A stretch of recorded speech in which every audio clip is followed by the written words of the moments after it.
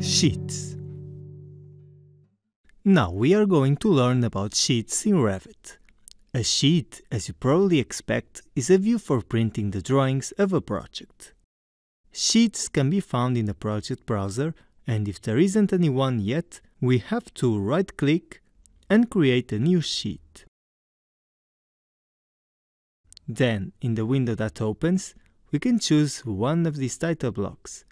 Here, you can see there are two models for two different sizes of paper, A3 and A1, or we could just choose a blank sheet without any title block, this one called None. I'm going to open the standard A1 sheet, and this is how it appears. Now, apart from these options, we can load the title block from the family libraries, here in Load. Then, where you have all the categories, there is a folder named Title Blocks. And then, you can see these ones to use in different paper sizes. Ah, and there is also a preview when we click in each title block.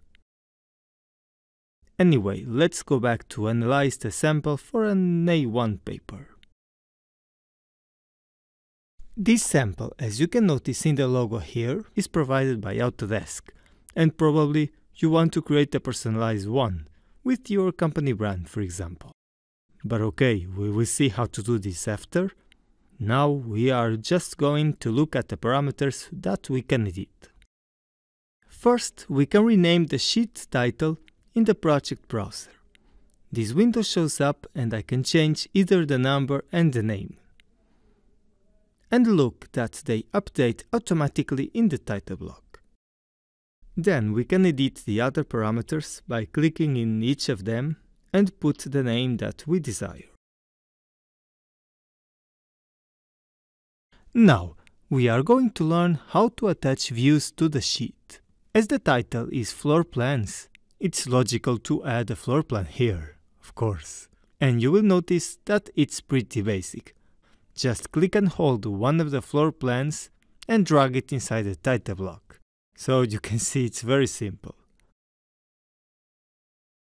Now, each view is composed by a title, in this case zero ground floor and view number 1. Then where I have the drawing is the viewport. Basically, it's a window that shows everything that I have visible in that particular view. But now notice how the floor plan only fills one part of the viewport. The reason for that is because I have these elevation elements over there and the size of the viewport varies according with the area occupied by the drawing. Therefore, I'm going to switch to the ground floor plan and hide in view this category of elements. Now look, when I return to the sheet, the drawing stayed in the same position but this time the viewport is smaller. Now it's adjusted just to the floor plan, as the elevations are now hidden. How can I edit the position of the viewport and the title? This is a bit tricky. By selecting the title, I can drag it to wherever I want, but if I want to shorten or stretch the line, I need to select the viewport instead. And now I can easily change the size of the line by moving these grips.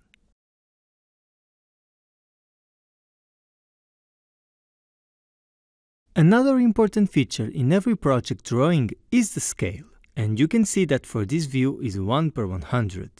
It's just a scale that you adjust in the bottom of the screen in the view of the floor plan. Although, if I need a different scale, it's easy to change. Select the viewport, and in the properties the view scale is the first parameter. Change it to 1 per 50, and you can see all the dimensions change to double size. Also, notice that the scale in the title of the drawing, as well as in the title block, update automatically, and you don't need to worry about that. Finally, I only need to place the viewport according with the position of the line.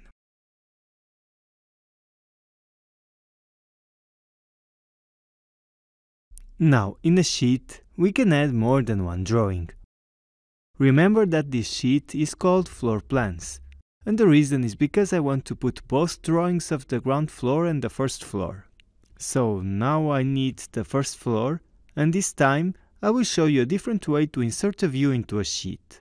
Go to the View tab and on the panel Sheet Composition I'm going to click on View and then you can see all this list with all the views. Now I'm going to choose the floor plan first floor. This time you can see that the scale of this drawing is smaller, 1 per 100, and also the indication of the scale in the title block tells us to look at each drawing, as they are with different scales.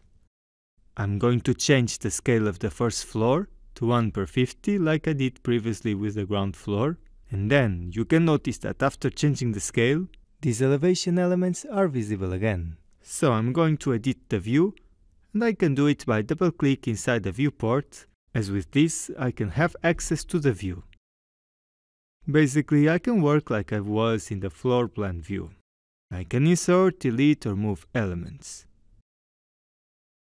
Anyway, I'm going to hide the sections from the view and the viewport is resized again to fit the visible area. Then I just need to move the viewport a bit down to be in line with the ground floor and the title with the line. I can snap with the one of the ground floor. In this way they look better.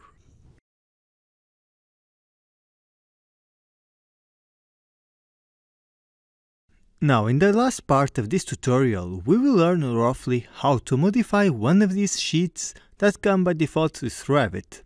It's easy. Now you can double click in the title block and you realize that a new window opens. It's actually the family file for this specific title block and there we can modify anything that we need in this family, in this case this title block.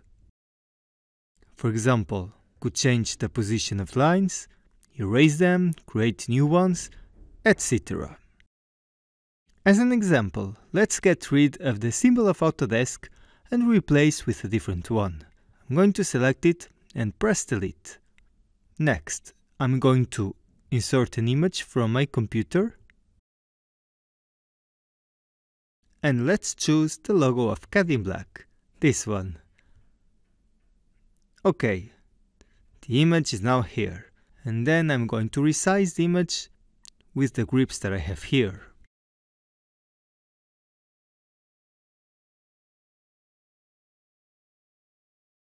Then I need a text next to the image. In the tab Create in the ribbon. I'm going to type CAD in Black.